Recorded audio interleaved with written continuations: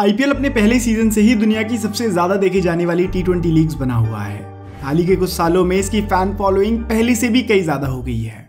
अब तक इसके तेरह एडिशन हो चुके हैं, जिनमें कुछ तो इंडिया के बाहर भी हुए हैं। और इसी वजह से इसकी फ़ैन फॉलोइंग सिर्फ़ इंडिया तक सीमित नहीं है, बल्कि दुनिया के अलग अलग देशों में भी ये लीग काफ़ी पॉपुलर हो चुकी है।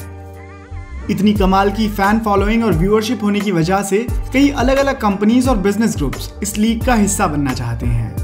जहाँ एक तरफ़ कुछ टीम्स आज भी शुरुआत के सीज़न से ही कमाल का खेल दिखा रही हैं, वहीं कुछ फ्रेंचाइजीज के लिए आईपीएल का सफ़र इतना आसान नहीं रहा, और इसी वजह से वो फ्रेंचाइजीज आज आईपीएल में खेलती हुई नज़र नहीं आती। ऐसे में टीम्स को कई मुश्किलों का सामना करना पड़ जाता है। कई बार टीम को डिसकंटिन्यू करने की वजह होती है फंड्स की कमी, और कई बार लीगल रीजंस की वजह से फ्रेंचाइजी को आईपीएल से बाहर का रास्ता देखना पड़ता है। आज की इस वीडियो में हम आईपीएल की उन्हीं कुछ टीम्स के बारे में बात करेंगे जो पहले तो इस लीग का हिस्सा हुआ करती थी, पर कई वजहों के चलते अब इंडियन प्रीमियर लीग में दिखाई नहीं देती। तो आइए शुरू करते हैं आईपीएल की डिसकंटिन्यूड टीम्स की कहानी। नंबर फाइव डेकन चार्जर्स जिसने आईपीएल के शुरुआती सीज़न नहीं देखे होंगे, वो इस टीम के बारे में नहीं जानता होगा। डेकन चार्जर्स आईपीएल के पहले सीज़न की आठ टीम्स में से एक टीम थी। इस फ्रेंचाइजी को डेकन क्रॉनिकल ग्रुप ने ऑक्शन में 107 मिलियन डॉलर्स यानी कि करीब 750 करोड़ रुपए देकर खरीदा था।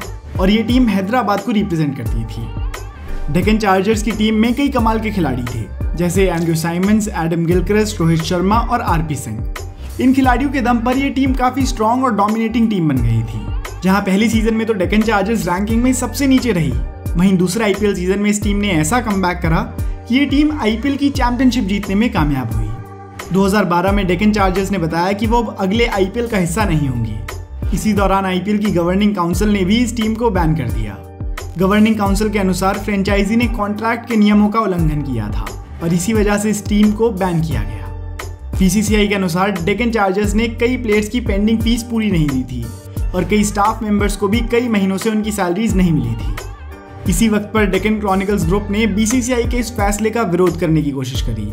पर वो ऐसा करने में असमर्थ रहे। और इसी वक्त पर गवर्निंग काउंसिल ने इस फ्रेंचाइजी की जगह एक नई फ्रेंचाइजी के लिए टेंडर निकाला और उस ऑक्शन में सन टीवी नेटवर्क ने सबसे ऊँची बोली लगाकर फ्रेंचाइजी को खरीद लिया।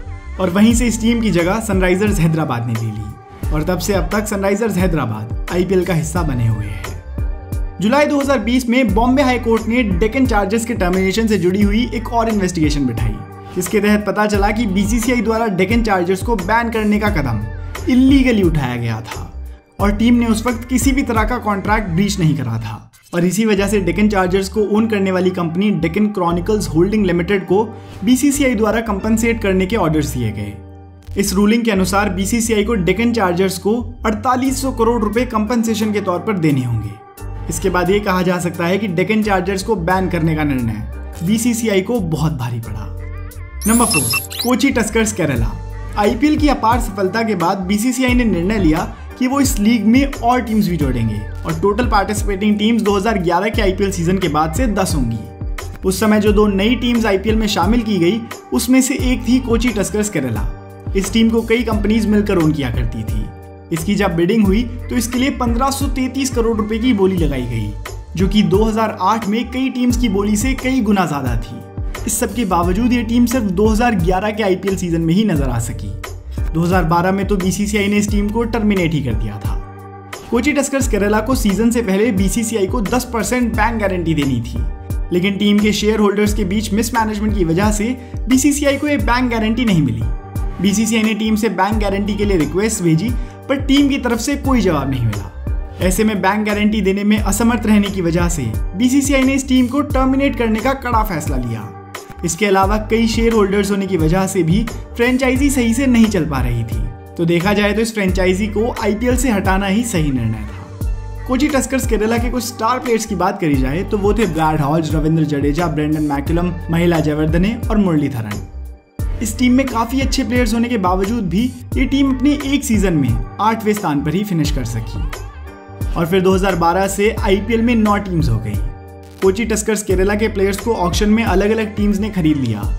और जो प्लेयर्स ऑक्शन में नहीं बिके, उनको कोची टस्कर्स केरला की पिछले सीज़न की बैंक गारंटी से फ़ीस दी गई। बीसीसीआई इस टीम की मैनेजमेंट से बिल्कुल खुश नहीं थी।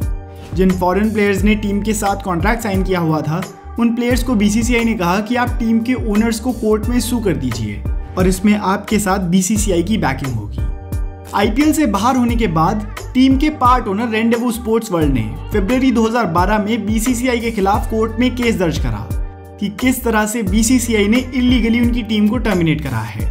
और फिर जुलाई 2015 में कोर्ट ने ऑर्डर दिया कि बीसीसीआई को कोची टस्कर्स केरला को कंपनसेशन के तौर पर 550 करोड़ रुपए देने होंगे। Number three Pune Warriors India Pune Warriors India 2011 में शामिल होने वाली दो टीम्स में से एक थी। ये टीम आईपीएल इतिहास की सबसे महँगी फ्रेंचाइजी भी थी, क्योंकि इसके लिए सहारा एडवेंचर स्पोर्ट्स लिमिटेड ने लगभग 1700 करोड़ रुपए की बोली लगाई थी, जो कि सबसे ज़्यादा थी। पहले सहारा ग्रुप ने इस टीम का नाम सहारा पुणे वॉरियर्स रखा था, पर बीसीसीआई के क्लॉजेस के अनुसार ये नाम इलीगल होता, क्योंकि इस टीम के नाम से ही इसको ओन करने वाले ग्रुप सहारा ग्रुप का प्रमोशन होता, जो कि बीसीसीआई द्वारा अलाउ नहीं किया जाता, और इसी वजह से बाद में टीम का नाम पुणे वॉरियर्स इंडिया रखा गया। जिस मैनेजमेंट को टीम के नाम रखने में ही दिक्कतों का सामना करना पड़ रहा था, आप खुद अंदाज़ा लगा लीजिए उस टीम को आगे और कितनी समस्याएँ झेलनी पड़ी होंगी। नई फ्रेंचाइजी होने की वजह से उन्होंने अपनी टीम में कई बड़े बड़े प्लेयर्स भी शामिल किए, जैसे कि Yuvraj Singh Jesse Ryder Graeme Smith और मिचल मार्श और सीज़न के बीच में ही टीम की तरफ़ से खेलने के लिए सौरभ गांगुली को भी आईपीएल में बुला लिया गया।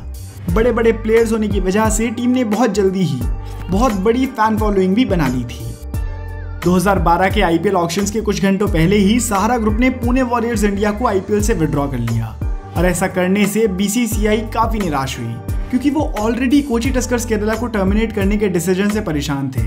और अब एक और टीम ने खुद को आईपीएल से बाहर कर टूर्नामेंट के लिए एंड मौके पर मुसीबतें बढ़ा दी थी। सहारा ग्रुप ने विड्रॉल का मेन कारण बताया कि उन्होंने टीम के लिए बड़ी बोली ये सोचकर लगाई थी कि 2011 के सीज़न में 94 मैचेस होंगे। जबकि सीज़न में मैचेस कम करके सिर्फ़ 74 मैचेस ही हुए।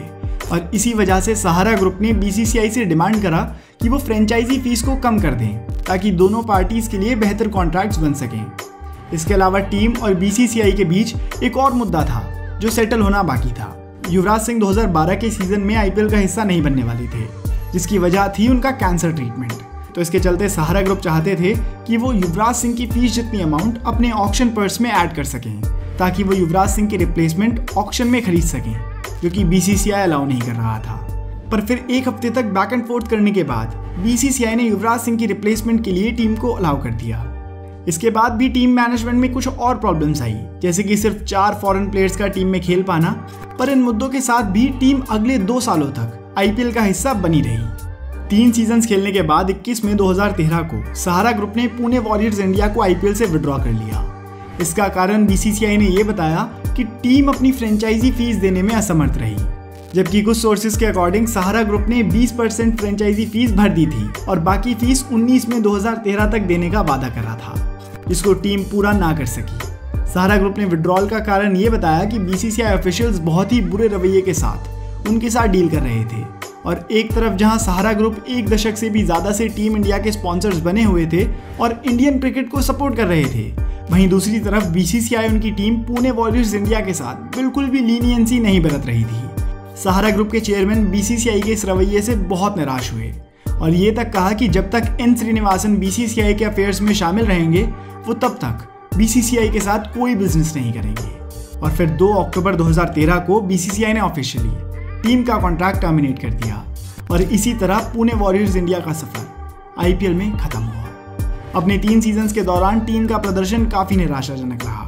पुणे वॉरियर्स इंडिया अपने तीन सीज़न में से एक सीज़न में भी नॉकआउट राउंड तक नहीं जा सकी। नंबर टू गुजरात लायंस जब 2015 के आईपीएल सीज़न के बाद राजस्थान रॉयल्स और चेन्नई सुपर किंग्स की टीम दो साल के लिए आईपीएल से बैन हुई। तब उनकी जगह दो नई टीम्स ने ली उनमें से एक थी गुजरात लायंस गुजरात लायंस के ओनर इंटेक्स टेक्नोलॉजीज़ के मालिक केशव बंसल थे। न्यू दिल्ली में हुए एक इवेंट में तय हुआ कि टीम का नाम गुजरात लायंस होगा। और ये भी तय हुआ कि टीम के कैप्टन होंगे सुरेश रैना। फिर अपने पहले ही सीज़न में ये टीम प्लेऑफ्स में जगह बनाने में कामयाब रही। पहली सीज़न में अच्छा प्रदर्शन करने के बाद दूसरे सीज़न में टीम अपनी परफॉर्मेंस रिपीट नहीं कर पाई। दो सीज़न के बाद जब सी और राजस्थान रॉयल्स का बैन खत्म हुआ तो ये टीम भी आईपीएल से हटा दी गई और इसकी जगह वापस से पुरानी टीम ने ले ली। Number one Rising Pune Super Giants CSK और राजस्थान रॉयल्स के बैन के बाद दूसरी जो टीम आई थी, वो थी Rising Pune Super Giants Gujarat Lions की तरह ही ये टीम भी आईपीएल में सिर्फ़ दो सीज़न के लिए रही। इस टीम के ओनर संजीव गोयंका रहे और टीम की कैप्टनशिप संभाली एम एस धोनी ने। इस टीम ने पहली सीज़न तो कोई कमाल नहीं किया, पर दूसरे सीज़न में ये फाइनल तक पहुँचने में कामयाब रही। फाइनल्स में भी ये टीम सिर्फ़ एक रन से ही हारी थी। ये फाइनली इस फ्रेंचाइजी का लास्ट मैच भी था, क्योंकि सी और राजस्थान रॉयल्स का बैन खत्म हो चुका था। तो दोस्तों, यही थी आईपीएल की पाँच फ्रेंचाइजीज जो अब आईपीएल में नहीं दिखाई देती। इनमें से कुछ टीम्स ने तो कमाल की फ़ैन फॉलोइंग भी अचीव कर ली थी, पर इनकी आईपीएल जर्नी ज़्यादा लंबी नहीं चल सकी। हम उम्मीद करते हैं कि आपको हमारी ये वीडियो पसंद आई होगी। अगर आपको वीडियो पसंद आई हो तो आप इस वीडियो को लाइक करके हमारा मनोबल बढ़ा सकते हैं। और अगर आप ऐसी वीडियो पहली बार देख रहे हैं और ऐसी और वीडियो देखना चाहते हैं तो दोस्तों, इस चैनल को सब्सक्राइब कर लीजिए, क्योंकि मैं आपके लिए ऐसी वीडियोस लाता रहूँगा। धन्यवाद।